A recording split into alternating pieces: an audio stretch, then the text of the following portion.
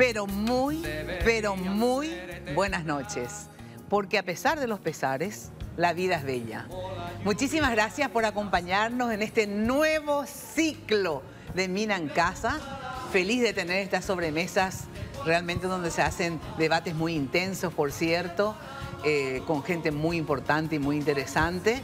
Así es que gracias también a toda la teleaudiencia que cuando nos encontramos en la calle, en el súper, en el shopping, en cualquier lado. ¿Y cuándo volvés? ¿Y cuándo volvés? ¿Y por qué no estás todavía los domingos? Así que por ese afecto eh, maravilloso que me demuestran, eh, de verdad, muchas gracias. Y gracias por su preferencia, porque no todos los que me ven me quieren, digamos, ¿verdad? Pero gracias de todas maneras por eh, su preferencia y por estar con nosotros. Y por los que me quieren, obviamente, me satisface aún más. Roberto Coronel, periodista de Telefuturo, Monumental, NPI, ya no sé, todo el grupo de en todos los medios está. Así está. Gracias por estar, mi No, por favor, gracias Mina por invitarme. Es un placer para mí compartir con los compañeros aquí en esta mesa. Gracias, en serio. Enrique Vargas Peña, periodista de ABC Color y ABC TV, gracias por estar, señor. Mira, un placer como siempre, eh, más vino. Más vino. Ya le dije hacer intercambio de copa mientras tanto hasta que esperen la pausa y ya estamos. Bueno, y se incorpora a esta mesa Clary Arias, periodista de Radio Ñandutí, Universo 970. Clary, tanto tiempo. Un placer, Mina. Igualmente, en serio. Un placer. Esta es una mesa hermosa. Eh, siempre es incómodo que te inviten y sabes que van a estar dos exparejas tuyas. Eh, sí, sí, en esta mesa tengo dos exparejas. Dos exparejas. Pero después vamos a hablar de eso, porque una de tus ex pareja fue pareja de casi todos acá. Siempre fue promiscuo. Siempre fue promiscuo. vamos a aclarar, siempre fue promiscuo. No sé a quién se refiere, pero luego, luego lo vamos a aclarar. Jorge Torres, periodista de Unicanal, Canal 13 y Radio 1. En realidad es más también. no estoy más. A Radio 1 ya no estás más, ¿cierto? Actualizate, Mina. Actualizate, Jenny. y él no está más en 970. ¿no? Sí, no, pero, no es, eh, pero está en, la de la tarde, FM, Monte Carlo. Hay que tener varios trabajos para vivir bien en el periodismo. En Uno solo nunca. Pero Clary es re vivillo, ¿eh? en, Vivísimo. Dos grupos, en dos grupos, muy bien. Próximamente en tres grupos. ¿Por qué? Cierto, va a ser, ya me enteré. No, no, contanos. Va a ser... Y estoy a punto, todavía estoy pensando, por, por, ya por la edad, pero eh, está el contrato ahí en Telefuturo para ser firmado también. Sí. Jurado, Para hacer varias cosas así mismo. Ah, jurado de un programa de entretenimiento y otras cosas. Pero se forzata, imagina. Estoy pensando seriamente. Hace misa en la capilla de su Sí. No, pero el, periodista hoy para vivir así, digamos, no con holgura, pero para pagar las cuentas, todos los que estamos en esta mesa tenemos más de una labor. Así mismo. Imposible si no. Sí. Yo lo que quiero es jubilarme ya. ya no quiero tener más labores, menos labores lo que quiero. presentaste tanto, anunciaste, creo que ya estás jubilado. Sí, sí, sí, Bueno, con nosotros también, obviamente, un clásico acá de, la mesa, ya saben, Roberto Pérez, periodista de Canal 9 y Radio 1. Corregime porque después la vamos a decir a Jenny que puso todo mal. Eh, C9N también, pero un gusto enorme, Mina. Buenas noches a los colegas, a tu grandísima audiencia. Como siempre, un placer enorme compartir esta mesa. Carlitos Gómez, periodista de Chaco Boreal, AM Noticias PI, de vuelta. ¿Cómo está? ¿Cómo estás, Mina, querida? Un gustazo poder compartir con ustedes y cuento ya, aviso que voy a hacerle la competencia a Vargas Peña. ¿eh? ¿En qué sentido? Y ah, en cuanto a tomar vino. Ah, yo pensé que, que, estaba en el mismo horario en alguna... Ah, y puede ser también. Puede ser también. Cuestión de tiempo. Cuestión de tiempo. Sí. Bueno, a ver... mi horario es medio... La, o lo que estamos en competencia. La verdad que vos competís con todo, porque está casi en todos los horarios, así que con quién lo que no competí, ¿verdad? Te olvidaste presentarle a Jorgito. Claro que sí. No, le presentó, también. sí, Que, que, me dijo, yo ya no estoy más en radio. Ah, perdón, parece el vino. Le cortó nomás la inspiración cuando le corrigió. le cortó nomás la inspiración. Pasa Roberto, pero le ve a Clara y dice, loco se vuelve. ¿Por qué? Cambió de look. Cosa de la vida. Facha, ¿no? Ah, pero, él no fue una de tus parejas, no era Roberto. No, él es, con él tenemos otros vínculos. Ah, otros vínculos. Pero esos vínculos son secretos. ah, no se puede contar. Jamás. Ah. Jamás de los jamás. claro, pero, pero por favor, lo que sí quiero saber es a ver, ¿quiénes fueron tus dos parejas acá? Eh, Vargas, nosotros comenzamos en el 2002 con Vargas Peña. 2 de abril. Yo voy a discutir la fecha, pero que yo tengo mejor memoria que él en ese aspecto. Pero el, el tema de los duetos en radio, Sí. nosotros en AM iniciamos un ciclo muy lindo hace 23 años casi, un 8 de julio del 2002, que nos Ah, contrató sí, sí, tiene Alejandro. Domínguez. Tiene razón, claro. Y, Yo me equivoqué. eh, fue mi pareja por cuatro o cinco años, después se cansó de mí. Eh. Y Cinco, que, no bueno. es, que no es difícil cansarse de mí. Y después con Jorge, nosotros tenemos un vínculo de casi 40 años ya. Él era bailarín de... No, no sé, Carlitos. No sé por qué te reís, No, Carlito. en serio. Pero bailarín no le veo a Él Jorge bailando, por eso nomás me eh, río. No, del ballet Embajador de la música. Asunción. Sí. Ah, Y yo le conocí allí bailando. Recorrió el mundo. Recorrido. Yo conocía su faceta de pues, actor, pero no de Él bailarín. fue bailarín y yo allí le conocí Eh, en una y te plaza. enamoraste, perdida. En una plaza. Eh. eh, plaza Oleari. En una plaza, pero estaba revolando la carterita. Increíble. Déjenme contar. ¿Estás mintiendo? No, no miento. 1989. Ah, te tenés que poner todo rojo. Juan de Jorge. la Cruz Fernández era el guitarrista, el, el arpista. El arpista. ¿viste? No más Y él preguntas. bailaba. Era profesor de Y después Mario Comita ahí le pregunta al profesor Fernández, no, y este tiene futuro, este muchacho como dice.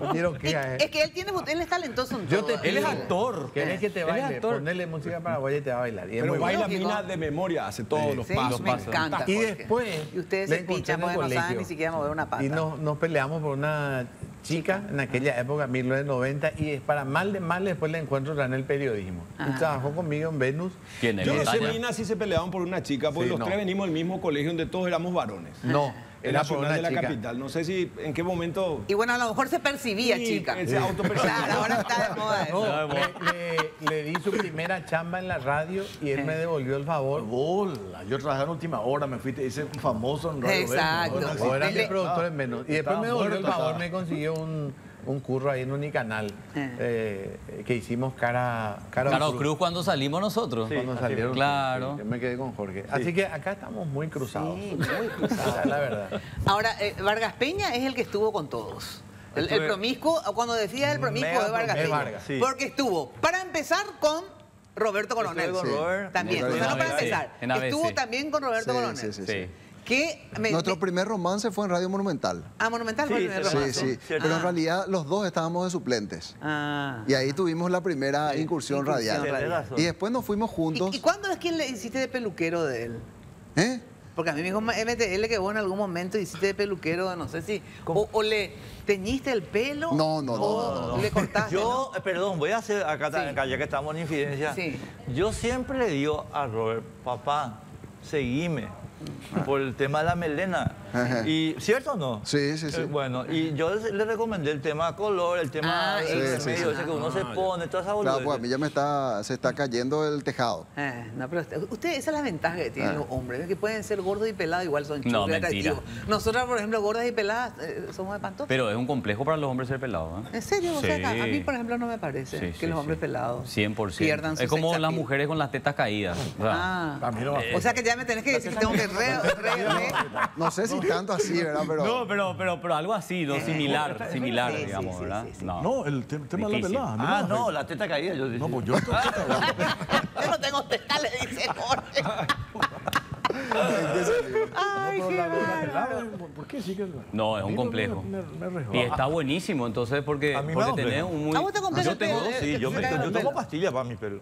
Ah, toma pastillas. pero tiene no, un efecto colateral eso. Sí, no, el, el trasplante. B16 recomiendo, categóricamente. Canje incluso me ofreció en esta empresa que hacen. Así como hizo Mike Silvero, ¿verdad? Que se, que se puso... Muchos se puso colegas. Sí, sí. Famosísimos. Pues ni ahí. Bueno, o sea, con el único que vos no fuiste pareja, por lo menos en términos, estamos hablando, obviamente, fue con Roberto. Por ahora, por ahora. Por ahora. Y con Torres tampoco.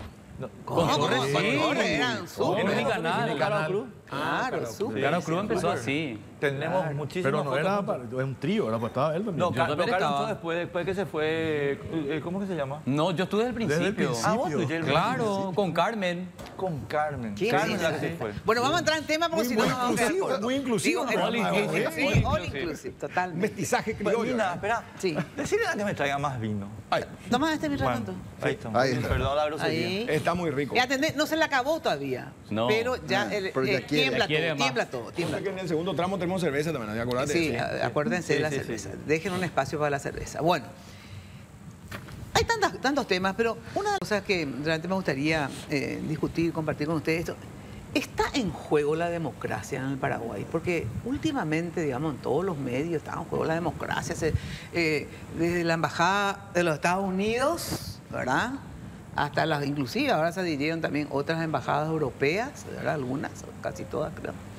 Eh, y bueno, y los medios en general, ¿verdad? con algunas excepciones, eh, y los periodistas también en general, con algunas excepciones, hablan de que está en juego la democracia. O, ¿es así? Eh, ¿Está en juego la democracia para ustedes?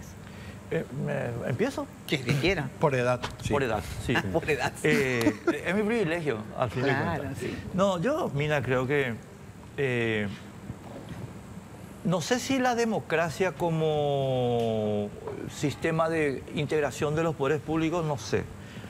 Pero el modelo de tres poderes equilibrados, sí. Porque el Grupo Cartes yo creo que tiene un modelo, no, no es que creo, el Grupo Cartes tiene un modelo político que yo a diferencia de mucha gente digo, cuidado, no vayan a, a- a pasarse de rosca en la calificación. Es el modelo político de Estigarribia, el modelo de 1940. Es la constitución del 40, el modelo que tiene Horacio. Eh, ¿Y quién le, le modernizó eso? Felipe Larraín, de Chile, el, as- el asesor que, que solía venir antes. ¿verdad? Voy a poner un ejemplo para que se entienda rápido. y Sí, no- sí, sí. Eh, Santi Peña, Horacio y compañía no quieren que el Congreso, por ejemplo, tenga poderes presupuestarios. Y eso es 1940. Ellos no te van a decir, reivindico el... mo-". No, no, no, eso no te dicen, pero ellos te dicen, che, el Congreso no tiene que tener poder presupuestario. Pero ellos tienen. Sí, tienen nuestra Sí. constitución, Pero pero te no digo, ese es el modelo. Entonces, yo te diría lo siguiente, y termino. Como modelo de integración de autoridad, yo no creo que ellos estén para proscribir partidos y eso no, eso creo que no. Pero como eh, modificación del modelo institucional, donde ahora tenemos tres ¿En el poderes... sentido de copamiento de No, lo, no, no, o de no. qué? Es que esa historia del copamiento, ¿y qué pasa si tenés mayoría? Claro. O sea, eh, o sea, Por eso, en- entonces, ¿por qué crees que, a, qué te por- referís? no, porque ellos tienen ahora un modelo que no tiene equilibrio. O sea, ellos tienen ahora una fuerza política que no tiene equilibrio. Pero ¿y ¿por qué no tiene equilibrio? No tiene vos- contrapeso. Porque justamente vos decís que están ser grosero, ¿verdad? Sí. Puedo ser groserito. Sí, sí. Porque la oposición es una mierda. este, es, es una mierda desarticulada. Y además sin proyectos, sin ideas. El trabajo de la oposición, y esto quedó en evidencia con el tema hambre cero, es que ni, ni se estudian los proyectos que critican. Eh, Se van a criticar proyectos por lo que leyeron en los diarios. Y, y- te digo que quedaron en ridículo esta semana, porque yo le invité la vez pasada al doctor Ernesto Weber para hablar del tema, el almuerzo, el, alm- el desayuno. El proyecto de ley no contiene ninguna especificación sobre si almuerzo o desayuno. Cero. Ni la ley actual. Ni, ni la ley actual. Entonces los tipos están verseando sobre el fantasma. Un fantasma. Fantasma. ¿Entendés?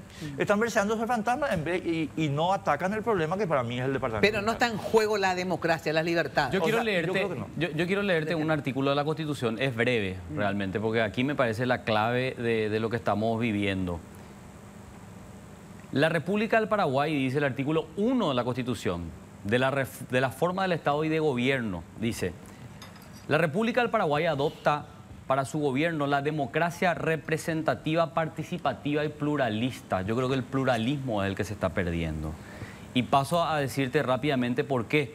Porque el Grupo Cartes tiene un poder económico avasallante y además ahora le sumamos el poder del Estado porque todos hemos visto cómo se resuelven estos pases eh, que ellos celebran con fotografías y que todos tenemos que decir que qué lindos que son, qué bueno, qué aglutinantes. Todos se resuelven a través de prebendas, porque ese sigue siendo el modelo para captar adherencia. Entonces, yo creo que se está trabajando lastimosamente en un, eh, en un, en un borde que es bastante problemático para la democracia, porque la democracia deja de ser pluralista. Se, se pierde ese pluralismo. Y, y insisto con un concepto que eh, pre- lo, lo abrió Enrique, pero que me gustaría profundizar. La concentración de poderes, ¿por qué? No la concentración de poderes per se, sino la concentración de poderes en una persona, que una persona tenga la capacidad de poder manejar el Ejecutivo a través de su títere, el legislativo con una mayor- mayoría indiscutida que le dice, sí señor, yo voto lo que usted me ordena, y un poder judicial que tampoco tiene los pantalones para poder plantarse y corregir las arbitrariedades tomadas desde el poder legislativo donde el cartismo tiene mayoría, y me refiero específicamente al caso al caso Katia González, que todavía está pendiente eh, en la sala constitucional. Entonces, yo creo que se está perdiendo el pluralismo y que además el Grupo Cartes hace una apuesta total a través del dinero, muchas veces de orígenes, como ha denunciado Mario Abdo Benítez, por eso es que le están queriendo liquidar, de origen espúreo, porque estamos hablando de contrabando, estamos hablando de lavado de dinero. Entonces, muy fácil es cuando tenemos recursos ilimitados y cuando además sumamos a esos recursos ilimitados el poder del Estado, que es clave cuando hablamos de la construcción del poder de parte de la ANR. Así que a mí sí me parece que está en peligro la democracia porque estamos perdiendo ese matiz pluralista que tiene que tener la democracia y que está establecida en nuestra Constitución Nacional. Yo no estoy de acuerdo. La prensa tiene un síndrome de mitomanía. Termina, ese- esa- eh, crea escenarios hipotéticos Los cree. y termina creyendo esos escenarios hipotéticos y ficticios que en realidad en la práctica no se dan. Eh, dictadura. ¿De dónde está la dictadura? ¿De dónde sacaron eso? ¿Quién dice dictadura, Este, Jorge? Recién, este, re- recién preguntaba Mina, la democracia está en peligro. Cuando hablamos de la democracia en peligro, bueno, lo primero que dice estamos en cierta una dictadura. No necesariamente. Y, pero no voy a terminar. Este, entonces digo, permanentemente van desarrollando escenarios. Ustedes nomás se creen ese escenario, pretenden instalar, después había sido, no se concretó lo que ustedes creyeron instalar en la, en la convención de los colorados, se define la reelección. No pasó absolutamente nada. Este, el, pro- el proyecto Hambre Cero, empezaron a buscarle la vuelta por primera vez a un proyecto ambicioso que tiene el objetivo de responder con la comida a un millón de tres- un millón trescientos mil niños. Y después lo otro, lo de Katia. Lo de Katia hay que...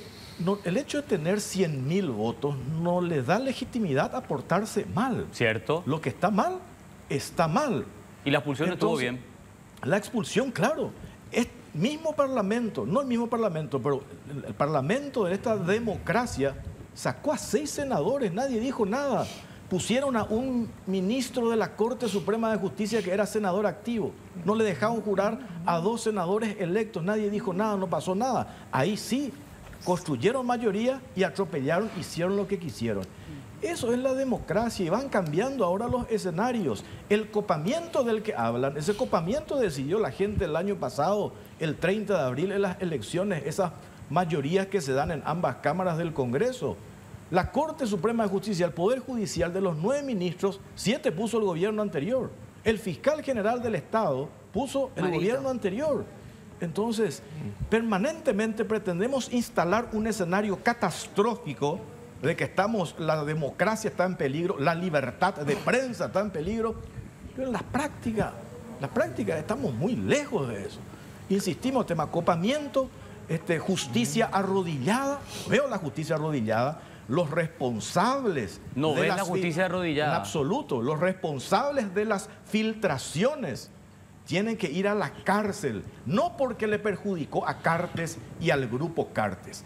Nunca más se tienen que utilizar O sea, los chats, los chats entre Aldo Cantero yo no sé y, si esos chats y son Pedro reales, Velar, pero abrió una investigación. Pero eso es como decía un colega, un colega nuestro, eso es accesorio. ¿Cómo va a ser accesorio si El es un fondo, abogado dándole fondo, orden al fiscal, el- al fiscal de la causa? Filtró o no Mario Abdo Benítez, este, tuvo acceso a información confidencial. No sé. Mauri tuvo acceso o no a No información confidencial. Daniel Farías, secretario de Yucio, se paseaba como Juan por su casa por la CEPRELAT, accedía a información confidencial. ¿Te parece- que lo dice, te parece que lo justo- dice Gafilat. No lo decimos nosotros, no lo dice el grupo Cartes ni los periodistas que trabajan en el grupo Cartes. ¿Te Lo parece justo Gafilat, que un las- abogado le dé orden a un fiscal, Jorge? no, no es así. ¿Cómo que no es así? Cuando terminaron reconociendo finalmente, porque basta solamente con mirar lo que No sé dijo si Yamil eso- Gay en sus redes sociales para entender que hay un reconocimiento. ¿Parece o no? O sea, ¿es o no bueno que un abogado de orden Pero la pregunta de Mina era otra La- la cosa. Yo creo que vamos a tener yo- tiempo para enfrentarnos. Sí, ¿no? yo cortito porque la porque- pregunta de Mina, perdón Robert, la pregunta de Mina, yo no voy a dar tantas vueltas. Mm. Tu pregunta fue, ¿la democracia está en peligro? Y efectivamente sí coincido con, con el compañero. Pero, Carlos. Con Carlos, porque hay que separar bien los conceptos y ahí es donde nos enfrentamos porque cada uno quiere tomar ciertas banderías. El, el fenómeno Horacio Cartes como el verdadero responsable o el detentador del poder, efectivamente está provocando, como bien decía Carlos, un copamiento institucional.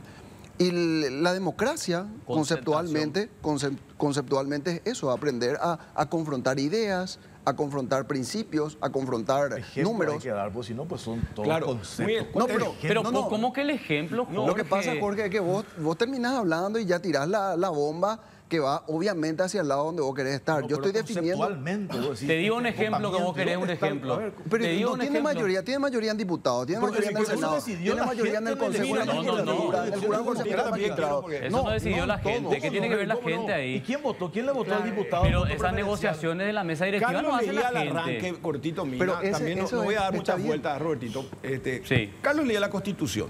¿Qué es lo que es la democracia? Eh, básicamente, Encina Marín decía el gobierno de las mayorías. ¿verdad? Y a eso le agregamos la pluralidad. Dice la pluralidad. Escuchar a las minorías. Exacto. Y cuando se habla de copamiento, ¿quién es el que te marca las pautas, la hoja de ruta, el que te jalona qué es lo que se pretende en ambas cámaras, del Congreso y en el Palacio de López? Las mayorías, ¿verdad? La única manera de definir las ideas, las confrontaciones, es votando. Después, todo cuanto se diga en un sistema democrático y republicano es la paja. Y esa paja se instaló muy bien en la previa de las elecciones, disculpame el, el vocabulario. Y ahora otra vez se pretende un escenario catastrófico. Quienes hackean la democracia son los que ponen en tela de juicio las reglas establecidas en 1992 a través de una Asamblea Nacional Constituyente. Cierto. Lo de copamiento.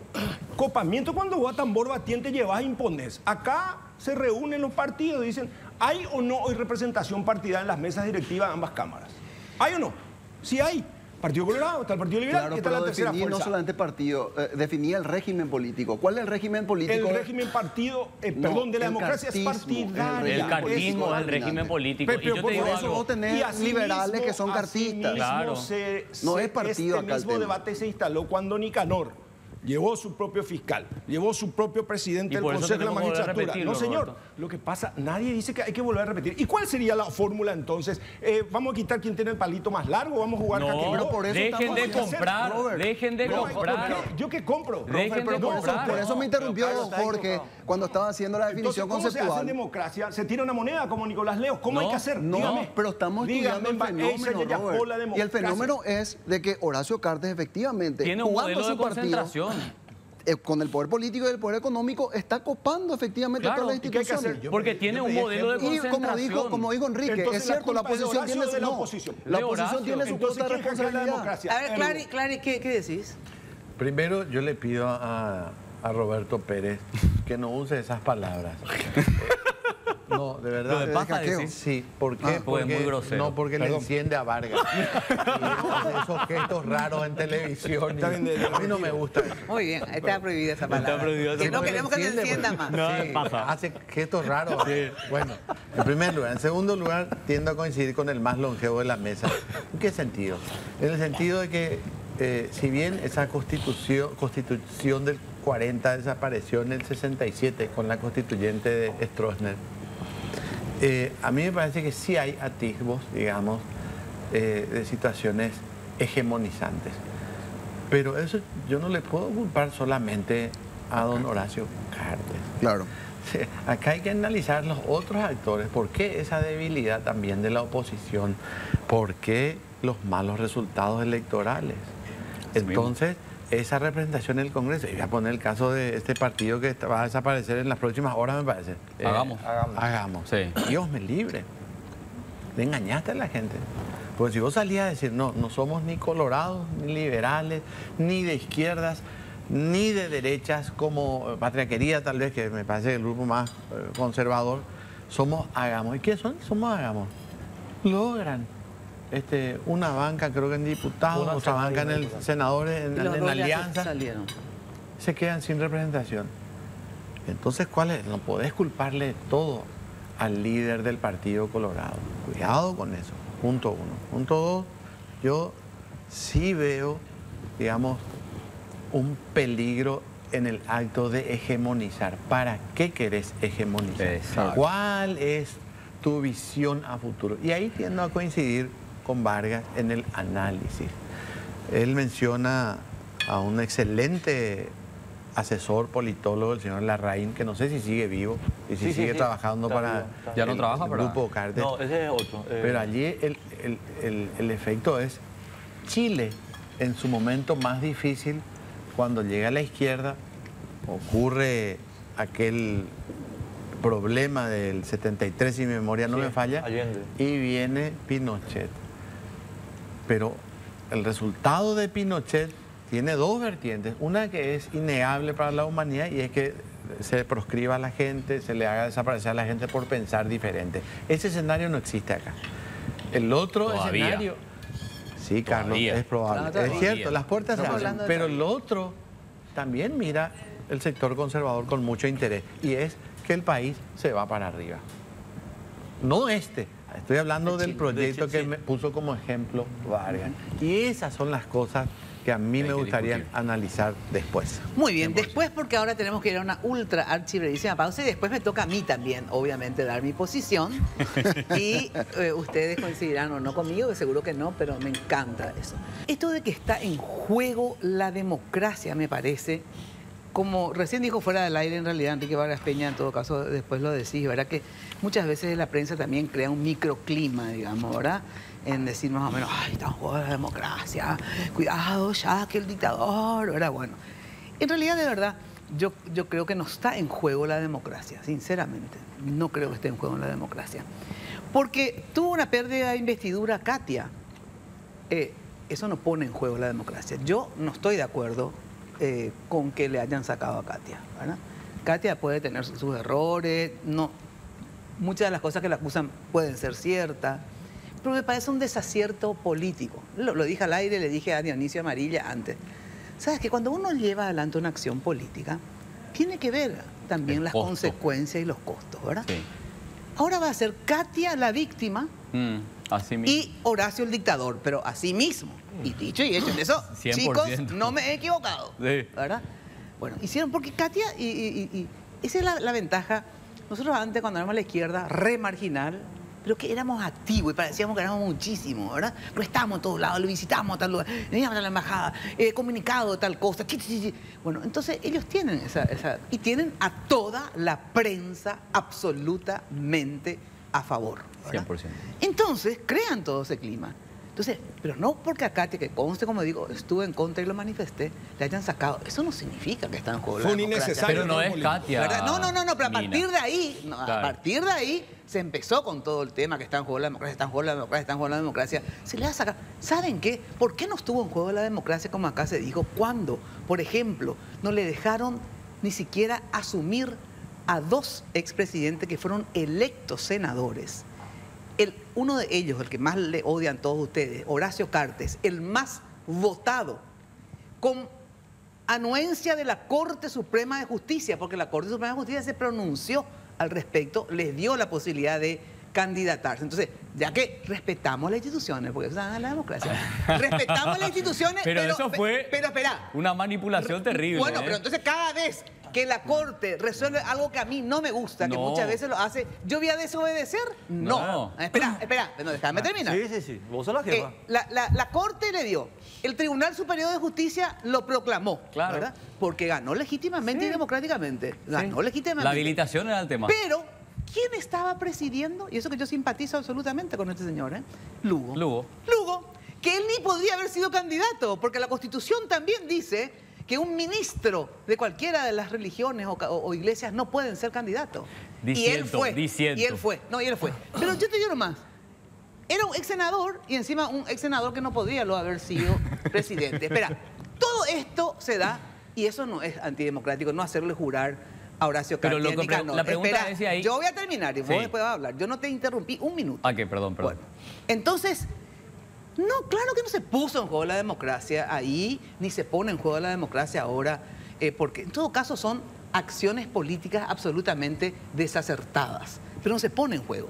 Después, otra cuestión, la imputación a Marito. La imputación a Marito, otra vez en juego la democracia, porque se le imputa a Marito. Se le imputó a Guasmosi, se le imputó a González Maki. Y, y se- seguimos democracia, no pasó nada. Entonces, vamos a tener memoria histórica y a no desvirtuar la realidad. ¿verdad? Vamos a tener memoria histórica y a no desvirtuar la realidad. Yo no creo que esté en juego la democracia por estos elementos, de verdad no creo. Lo que sí creo que desde hace rato y cada momento se nota que tenemos debilidades institucionales. Ah, muy bien. Tenemos debilidades institucionales. Y la debilidad que la institucional, debilidad ¿qué? institucional, cada según quien gobierne, nos damos cuenta que son manejadas por el poder de turno. Yo tengo un cuando, la oposición está, maneja la oposición. Cuando está el, mari- el maritismo, no sé cómo se llama, el abdismo, manejó el abdismo. Ah, sí. Eso es así porque hay una debilidad en las instituciones. Entonces digamos que hay debilidad en Ah, instituciones, yo- pero no está en juego la Ah. democracia, porque si no, ya hubiéramos estado con una dictadura hace rato.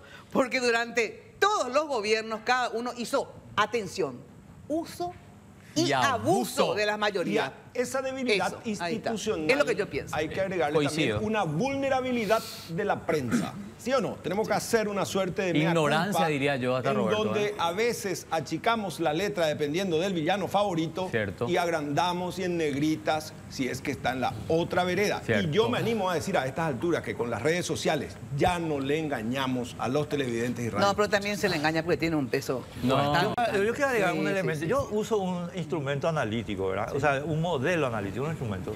Yo creo que acá hay dos modelos autoritarios. Yo creo que el modelo de Horacio es un modelo autoritario en el sentido, no en el sentido que De va a salir a matar gente sí. por la calle ni nada, no, en el sentido de, de- del que en concentración. 1940. Pero el modelo de Katia González es modelo autoritario también. También.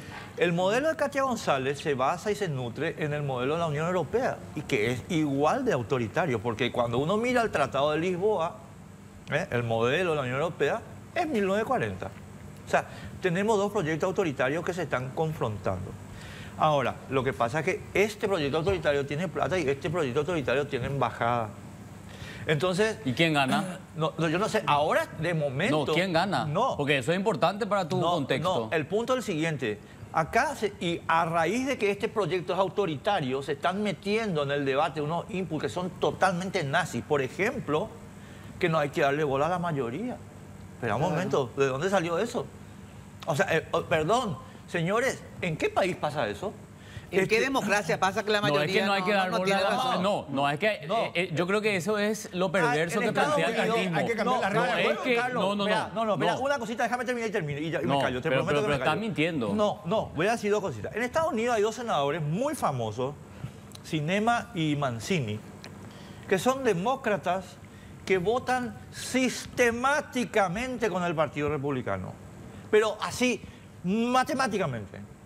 Se les expulsó, se les echó, se les dijo que era el fin del mundo, se armó el quilombo que se armó acá, se les echó con excomunión del partido. No, porque acá tenemos dos proyectos autoritarios. Y lo que se incubó en el Partido Liberal, en mi puto partido, es un esquema de nazis. Pero eso nadie discute. Pero No, está es que sí se discute. Pero ¿quién está discutiendo Pero es eso? que Por lo menos en esta mesa no, se discutió. pero por favor, pero Ni nadie hablando pudo- de lo que se discute en el país. No, Pero eso a ver, responde a la lo pregunta que- el Mina. punto es, el punto es, a mí me parece importante señalar porque creo que se, se quita de contexto la discusión y es importante el contexto porque de lo contrario es pretexto. ¿Sí? Importante el contexto, importante que la gente sepa. Aquí el problema no es que la mayoría gobierne, pero claro que tiene que mayorar- ma- gobernar la mayoría, por eso han ganado. Lo perverso inicia con el- la idea, primero, primero el modelo de gobierno que, plante- que plantea Horacio Cartes, con lo que yo no voy a estar jamás ¿Cuál es el a favor, que- que- que no estás a de favor? concentración de poder.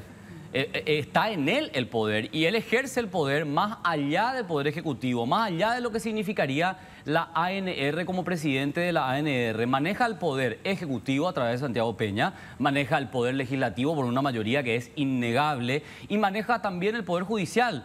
Y allí vamos... Ejemplo de manejo del Poder Judicial para entender nomás, porque Claro. o si no, pues nos quedamos en enunciados. Sí, y, y- sí. y- Mismo en la fiscalía, Claro. El actualmente. Poder ¿por qué Judicial, la habilitación, de, la habilitación de su candidatura, por ejemplo. En el Poder Judicial, por la Corte, ejemplo. por ejemplo, Pero podría entonces estar más manejaban Por dividida. también- ejemplo. Pero sí tenemos... eh, Por ejemplo, pero termino Poder nomás la idea, termino nomás la idea No, antes, pero ¿verdad? Porque que el dijo, ¿cuántos problema... ministros de corte fueron designados por Marito? Pero claro que sí, eso es indiscutible, bueno, Roberto. ya, ya, eso es indiscutible, pero ¿quién se opone al poder? Bueno, pero la Corte ya cambió. ¿Quién se opone al una poder? Pero Pero yo- termino- yo termino nomás mi idea. ¿Por qué no se puede deducir que tendrían que haber respondido al presidente Pero claro, no tendría que haber respondido. Porque eso, eso. es, eso es ¿por qué muy institucionalidad. responde? Justamente, Desaparecido. eso es que institucionalidad. Y que ha perdido además el poder, porque Mario Abdo está- desapareció en acción. Pero a lo que voy nomás es, aquí el juego perverso es el financiamiento político. Siempre ha sido ese el problema. Y lamento mucho que vos, Enrique, te olvides del financiamiento No, estoy político. olvidando para nada. No, porque ese fue siempre tu... que yo me No, yo no pero ese fue siempre tu bandera. Es mi bandera. Y bueno, entonces es importante mencionar el Pero no, financiamiento no, político. es que ahora te interrumpo porque una cuestión muy importante. Yo es te voy a- no, espera, permitime- permitime que yo pueda terminar mi idea y después respondes vos. Me hiciste una pequeña acusación y después Ah. yo no quiero meter acá. Bueno. No, espera. ¿Quién, ¿Quién torpedeó el tema del financiamiento político? del La cambio? oposición. No, gracias, muy amable. Bueno, No, perfecto. no, pero a- ver, lo que yo quiero decir es lo siguiente. El financiamiento político es clave acá, porque ¿qué pasa si el señor Carte financia incluso a la oposición? ¿Quién me dice Lo algo que de pasa eso? es que no dijeron ¿Quién me dice algo de eso? eso es lo que digo, acá hay doble. ¿Quién me dice algo de eso? ¿Quién es paraguayo Cuba? Entonces me van a decir, no, espera, Por entonces me van a decir paraguayo Cuba, no sé cuántos senadores metió y no sé qué esta historia. ¿De dónde sale el dinero? ¿Quién financia las campañas? Eso es clave, por eso yo digo que está en crisis la democracia, porque nunca antes, o por lo menos yo que tengo 33 años, capaz no tengo esa memoria histórica a la cual vos apelabas, Mina, me parece que está en riesgo por el dinero que se maneja en política. Y po- ¿y ¿sabes por qué? Claro, pero hay, hay- por el hay- modelo también. eh, eh, hay diferentes formas de ejercer el poder. Si, si es por eso, yo también digo, Sí. no solo el dinero, digamos, porque el dinero es un factor importante. Importantísimo. obviamente. Pero, por ejemplo, tener a la embajada. La oposición le tuvo. Perdieron a la o no con la embajada. escúchame, y por eso, Perdieron no con ya la es porque son unos inútiles, querido. Entonces, Pero resulta que tenés a la embajada, como me dijo Leo Rubín acá, claro que vamos a ganar, Mina. Porque imagínate, tenemos a la embajada de los Estados Unidos con nosotros, al imperio con ustedes. Pero, por favor. Le- le- le- sí, la embajada se jugó, pero a full, si alguien tiene una Sí, duda, es pero nadie discute eso. Ah, bueno, entonces después, tenía a toda la la prensa, a la toda la prensa a favor de 90% la de oposición, la el prensa 90, jugaba. bueno, 95. Sí, totalmente, bueno. 100%, 95% de, de- de- de la prensa, ¿verdad? Y plata también, porque no creas que no recibieron plata los de la oposición. De afuera. Sí, de afuera, de adentro, de todos lados. Entonces, ya, gente, ¿qué más querés que, que hagan para que ganen? No sé, me, me me voy a salir o que yo para que ustedes puedan ganar. Va- va- vamos a, a- a- a perder por. ¿entendés? Entonces ahí le dejamos. Pero en eso también ¿Qué- coincido qué yo con Enrique. hacer? O sea, sí ganó. En eso ¿Sabés coincido también yo con? Enrique. Gan- ganaron siempre, no solo por la plata. Sí. Claro que la plata es importante, ¿verdad? Sino que ganaron porque no se concentran solamente en ir contra la oposición, que está ahí Kat- Katia, que está ahí fulano, que está ahí. No, sin embargo, acá todo el día es Horacio, Horacio, Horacio. ¿Cuál es el y la proyecto gente, Horacio? la gente está harta, la gente quiere que le pregunte sobre su colectivo, sobre es el el. Y a lo tema de la mejor a la gente le gusta la dictadura, esto, ¿verdad? Y también a lo mejor le gusta la dictadura. eso yo no sé, que uno no. que reflexionar. no. La única pero digo- manera de Entonces, definir es gente- con los votos y ya se votó. No es solo la plata. Pero porque como no si hay fuera que a gente Horacio le importa. Hay gente con plata que nunca pudo Pero ganar ni una interna. Mina, colorada. eh, a Horacio Carte le importa el transporte público. Anda. Tiene A Horacio ideas, Carte. tiene propuestas. A Horacio no Carte le- importa la salud pública. a Anda, le importa la seguridad. Hablando No, de los perdón, o sea, gobiernos colorados, te estoy No, diciendo. pero, a ver, acá me pongo es en el- que la- No, pero me pongo en el en escenario. Horacio Carte, Horacio eh, Carte es el que tiene un maneja el país, por mal. Yo creo que favor. Horacio Carte tiene un proyecto para el mal, pero tiene proyectos para el transporte. ¿Y qué proyecto? Lo siento mucho. ¿Qué proyecto? No, yo te voy a decir una cosa. Yo estuve hoy una... ¿El Metrobús? Sí. ¿En serio? Pero, pero, el ¿por qué es lo que Metrobús. dice que un dictador dictador, no no, tiene está proyecto? Me, me No, no, explota no. la cabeza. Exacto. El Metrobús. El Metrobús. Horacio claro. Carte O sea, tiene el plan de ¿Por Metrobús. qué suponemos que un dictador Porque acá no se va a tener proyecto? como, eh, la, como la línea se hace, la secretaria de la Embajada de Estados Unidos le baja la línea y todo el pelotudaje bravío repite, ¿verdad? Porque no piensan un carajo. Entonces, la secretaria de Estados Unidos dice, eh, hambre cero, no tiene, eh, no tiene desayuno. Ey, eso no Yo está en la ley, tu madre. si, este, un simple ejemplo para la audiencia, ¿verdad? ¿Roban o no roban los intendentes y gobernadores? Roban. El desayuno, el almuerzo. Como locos. Sí. Como locos. ¿Es o no razonable el proyecto Hambre Cero? Pero no le Empezaron quitan, a meterle No. el palo a la rueda. Pero no le y la misma prensa que antes criticaba es la misma prensa que le da soporte a todos los sinvergüenzas que se fueron. La centralización está en a contra de la Constitución. La centralización está en contra. No somos cómplices. Hoy se cabalga otra vez con un discurso preelectoral. ¿Se le deja a Santiago desarrollar sus proyectos? No, porque nos ponemos así, que pito, Yo me flauta. imagino que Los los televidentes están boicoteadores mareados. seriales, la Porque demasiadas convirtió en- media verdad estamos diciendo en esta Así mesa. mismo. Y yo creo El que es el reflejo de la Es que no prensa actual.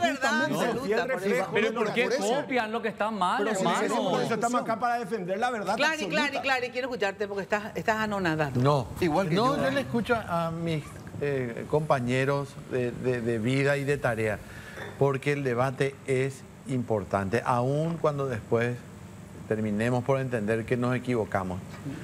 Así mismo. Eh, debilidad de las instituciones, pero también de los hombres, Mina. Claro, hombres sí, que sí. elige el sistema político. Absolutamente. ¿Quién le eligió a este fiscal general? Marito. Bueno, se- toda la sociedad, o gran parte de la sociedad coincidía. Cecilia Pérez, un gran elemento. No, voy a elegirle a Emiliano Rolón. Tomás, ahí tenés. No tenía los votos. ¿Y quién? Y Marito. es que el poder se Marito, usa rey, le- le- Marito le puso. elige al, al- fiscal. Pero no tenía para el, para el acuerdo constitucional, no se olviden que pasa por el Senado.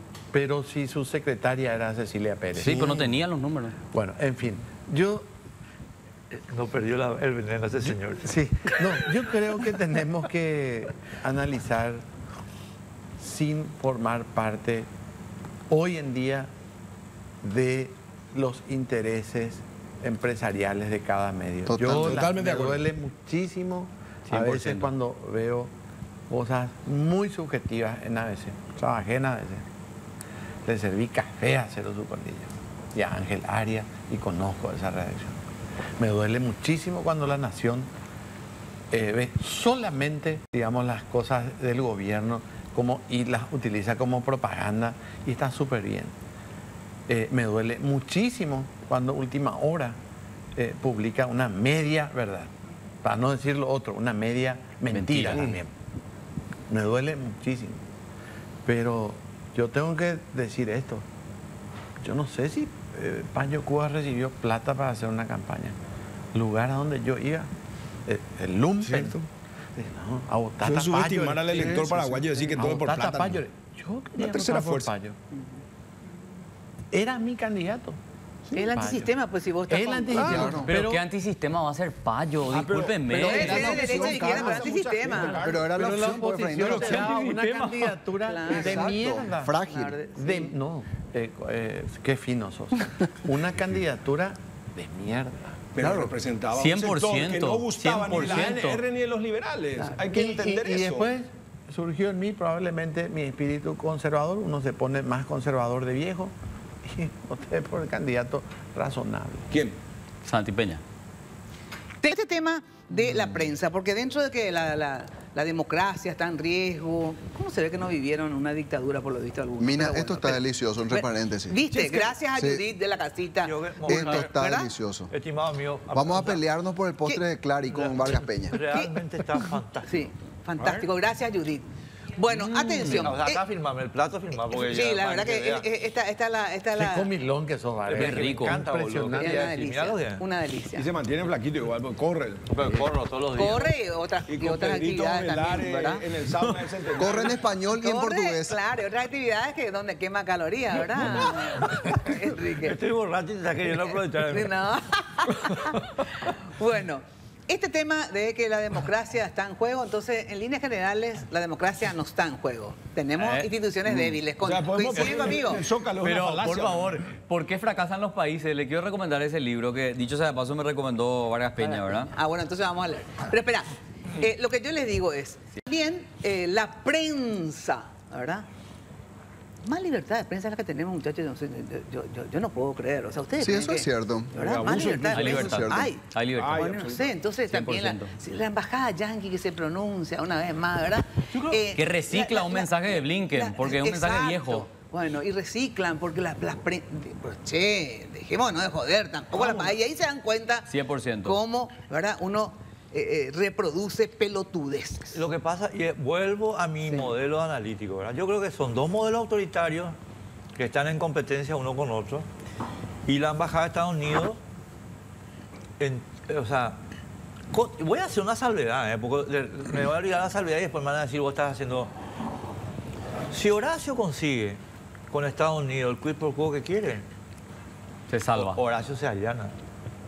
Y Paraguay se va a la puta. Pero eso no está ocurriendo todavía, por lo menos hasta donde yo sé. Mientras tanto, la embajada está presionando como si fuera un partido político. Y yo lo que le digo a mis compañeros y a, la oposición, y, o sea, a la gente del Partido Liberal, señores, ¿cómo es posible? Vamos, voy a poner un modelo que puse la vez pasada, pido disculpas, Mina, pero quiero... ¿Qué pasa si viene la Tercera Guerra Mundial mañana? Putin les rompe el, este, y se acaba, se acaba Estados Unidos. Y se acaba Rusia, se acaba Estados Unidos, se acaba Europa. ¿Qué pasa? ¿En qué se queda la oposición sin la embajada? Entonces, ¿cómo es que no pueden hacer una construcción sin la embajada? Y no se dan cuenta que los paraguayos, o yo por lo menos, me siento muy paraguayo, me rompe las bolas mal que la embajada me diga lo que tengo que hacer. Exacto. 100%. Es una indignación. Pero además, yo, te diría, yo te diría que eh, muchos, ¿eh? y yo sé que cuesta admitirlo públicamente, pero muchos nos hicimos la paja con la embajada norteamericana. Muchos. Prometieron, bueno, no, por eso digo, muchos, no todos, pero muchos nos hicimos la paja con la embajada americana y no cumplieron.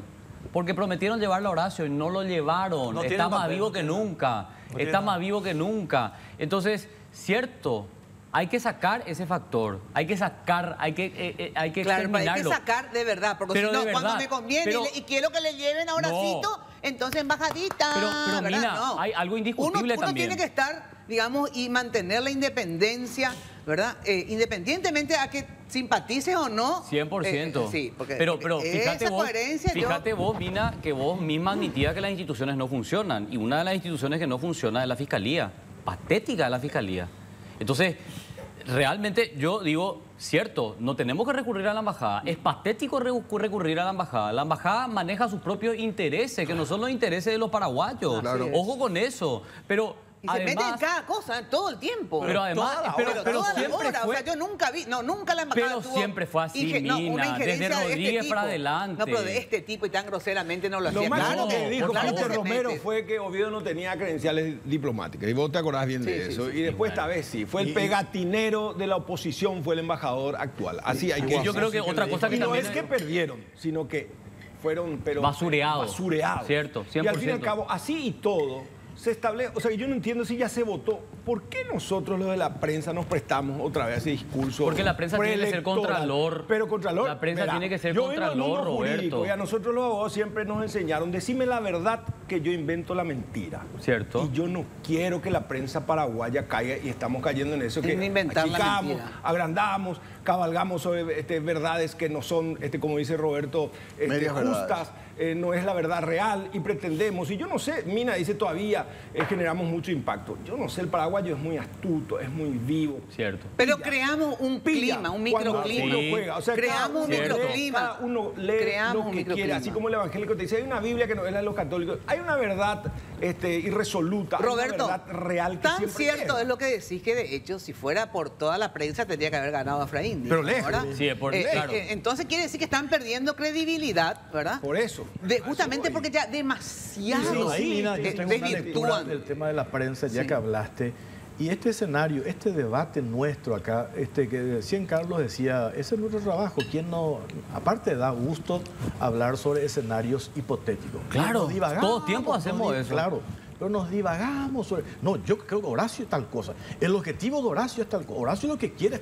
Nos divagamos con eso. Mientras tanto, le damos la espalda a los problemas del día a día de la gente. yo disiento, yo disiento. Espera, le damos la espalda, le damos la espalda. No nos hacemos eco de, los reclamos que le afecta día a día a la gente. Yo hace dos fines de semana estuve en Puerto Rosario hablando con un pescador y vi una calcomanía que tenía por la canoa, que era el Encuentro Nacional. Y le dije yo, Ule Katia, le digo, Aniceno no iba, no iba a Katia al Parlamento. Ni se enteró él. Hace 15 días ni se enteró que tenía una calcomanía del encuentro. Ni enterado estaba él que, que Katia González no estaba más en el Parlamento. Entonces yo digo, esa empatía nosotros tenemos que generar con la gente, ese espacio en nuestros programas también. Por eso en 35 años de democracia seguimos dando Con vueltas instituciones con los por eso. mismos problemas, Claro. con instituciones débiles. yo lo que y los que es- hablan de amenaza a la democracia querían cerrar medios de comunicación, acordate. Yo lo que pregunto Se porque- censuraron la ida porque- de un sector de la prensa a su búnker. Claro, un candidato Efraín. a senador, el esposo de Soledad Núñez, quería Pero cerrar acaso un diario no porque publicó, expulsa publi- también. publicó una Entonces, encuesta, ¿verdad? Pero por- a eso es lo que voy. Si nosotros terminamos justificando cada acción que hacemos, siempre vamos a encontrar una justificación. No, una justificación, No, pero, pero a vamos ver, a hacer pero lo vos siguiente. dijiste hace rato, Mina, cuando, cuando no le dejaron hace- jurar a Horacio. Cuando uno hace, yo- y eso es lo que yo digo. Cuando, pero no le dejaron cuando- jurar a Horacio, entonces ahora tenemos que atropellar nomás la no, constitución, yo no estoy porque de ya se acuerdo. hizo. No, lo que yo sabes es que no Eso estoy de acuerdo. la. Escúchame, no. Lo que yo digo es que no seamos hipócritas. 100%. ¿verdad? Que no seamos hi- hipócritas. Porque cuando le 100%. hacen a Horacio que no le aguantamos, cerramos el culo. 100%. Cerramos el culo. 100%. Pero cuando le hacen a alguien, ¡ay, la democracia está en juego!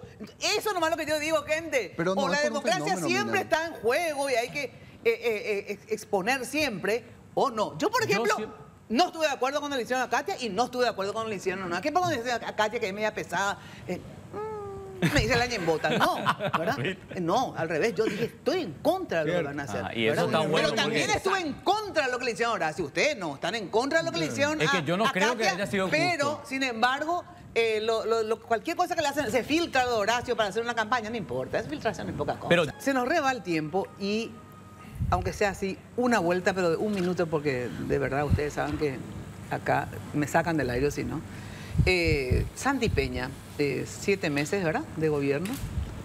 Una nota, una evaluación. A ver, pero mira, ahí ponen nueve minutos. Tienen menos de Tenemos un minuto. tiempo. Menos de un 5, minuto. 6, 7, sí. Yo, yo creo que Santi eh, eh, se está equivocando en no cumplir lo que se prometió que se iba a cumplir. Y supongo que lo hace porque cree que el respaldo fáctico es suficiente para suplir eso. Y yo le quiero contar a, a mi querido corazón de melón ¿Quién es tu corazón de melón? Santi. Ah, Santi, corazón de melón, cierto. que, que no es suficiente. Y que si no se cumple con la gente, la gente te lo demanda. Le pasó Sí. a los más pintados y a él le va a pasar también. Entonces, creo que esa es una falencia que hay que corregir rápido. Sí.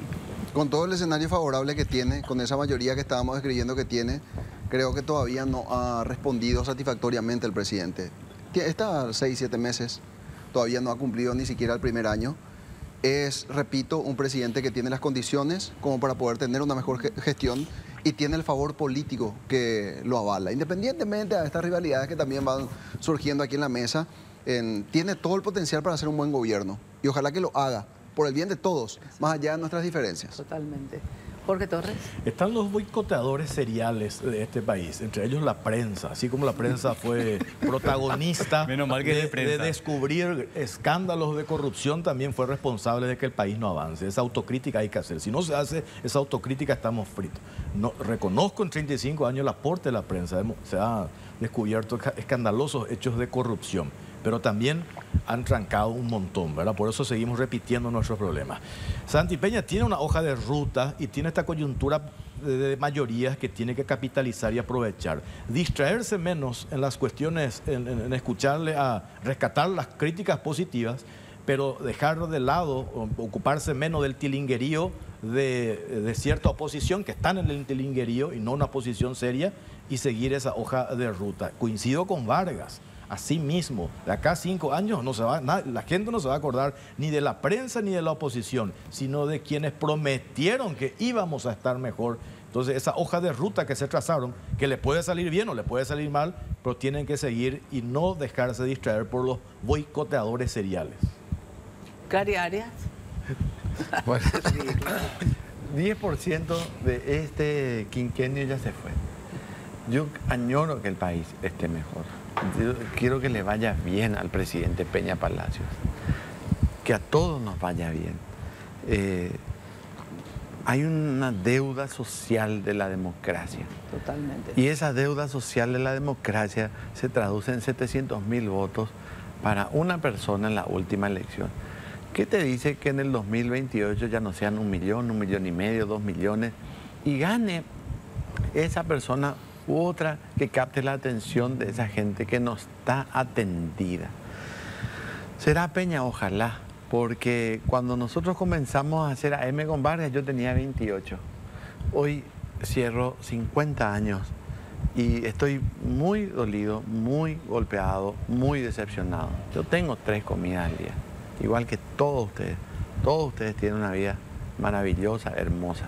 Acá hay un pueblo que nos está recibiendo los favores de la democracia. Entonces hay un desencanto razonable tal vez hacia la democracia o hacia ciertos actores de la democracia. El Partido Liberal decepciona en su papel opositor. La oposición hay que hacerla con responsabilidad, con responsabilidad. Y se me quedó algo que he descubierto también eh, en este periodo. El gobierno presentó una serie de proyectos importantes. Parlamentario opositor que le preguntaba, salvo Katia, salvo Katia, no sabían un carajo de los Así proyectos mismo. del gobierno. Y eso es peligroso. Así mismo. Hacer oposición responsable. Nuestro deber como periodistas también es leer cada proyecto que presenta el Ejecutivo y hacer la crítica. Yo estoy cada vez más cerca de la jubilación. Espero que para mi hija, para los hijos de ustedes, haya un país mejor. Con Santi, con Pedro, con Horacio, con quien sea. Pero para todos, no para unos pocos. Roberto. Me gusta eh, esta fase reflexiva de, de Juan Clary Arias. Este, yo creo que al presidente Peña no le están dejando gobernar como a otros presidentes. Estoy plenamente consciente que la democracia le debe mucho, especialmente a las clases populares.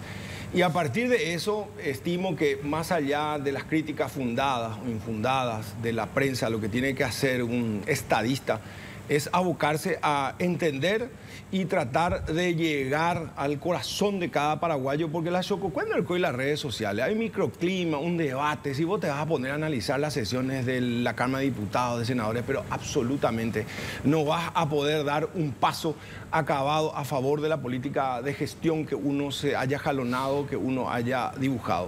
Insto al presidente de la República, más allá de que yo le haya votado, y si fuese otro, igual, porque Paraguay necesita, necesita demasiado y tenemos condiciones que tendríamos que aprovechar y que si uno se va a poner a analizar cuánta piedra le tiran por el camino, no va a llegar.